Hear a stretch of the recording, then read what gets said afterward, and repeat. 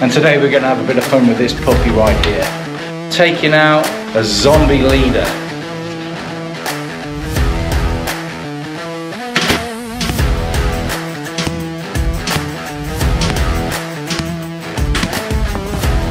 We took out the zombie leader with a crossbow. It would only be fitting if we took out the zombie apprentice with a K98. Stay tuned for an exciting episode of Apprentice Your Fighter.